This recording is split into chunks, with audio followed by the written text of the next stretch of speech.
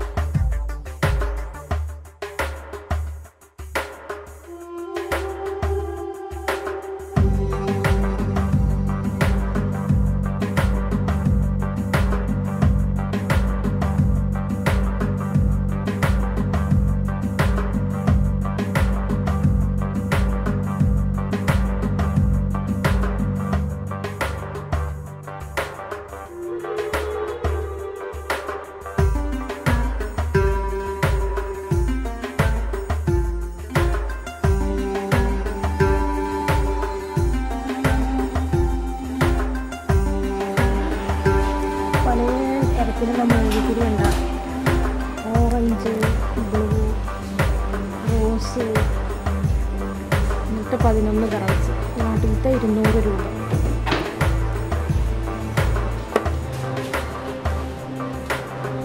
ഇതെല്ലാം മെഴുകുതിരിയാണ്